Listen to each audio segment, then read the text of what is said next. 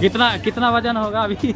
अभी होगा यार बहुत ही ज़्यादा मीठा है। क्योंकि अभी तक आज तक न मैं सुनी थी ना जानी थी इनके द्वारा ही मैं जानी थी सिंधिया में।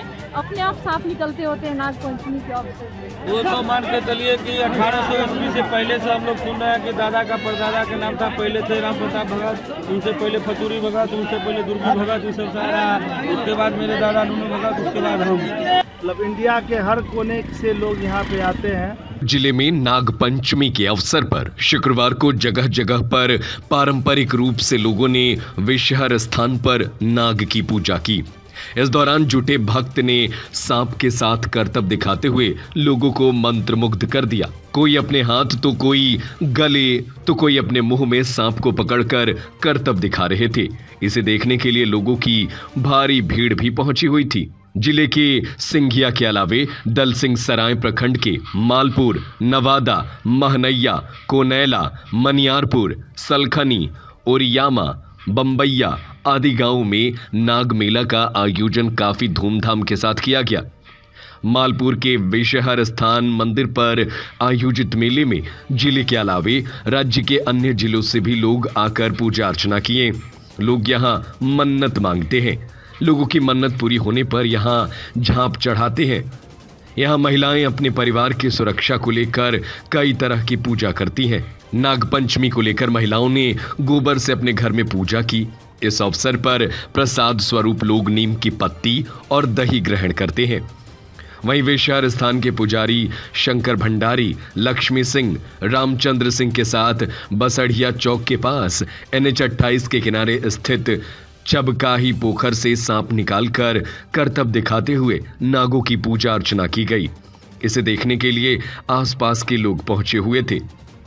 बता दें कि हर साल नाग पंचमी श्रावण मास के शुक्ल पक्ष की पंचमी तिथि में पड़ती है, जिसे पूरे देश में मनाया जाता है।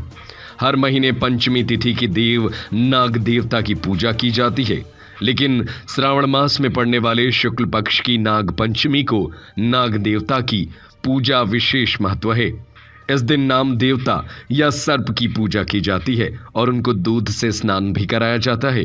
साथ ही कई जगह उन्हें दूध भी पिलाया जाता है। नाग पंचमी के दिन नागों का दर्शन होना बहुत ही शुभ माना जाता है। हिंदू धर्म में नाग को सबसे अधिक महत्व दिया गया है।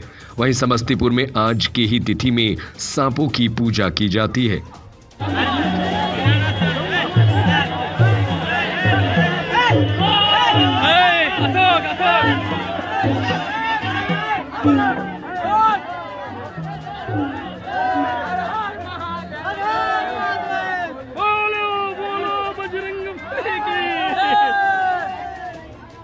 माता भगवती के। जय हो।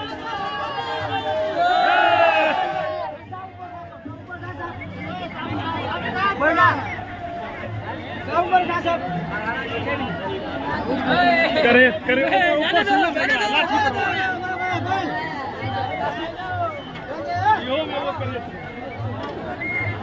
अयो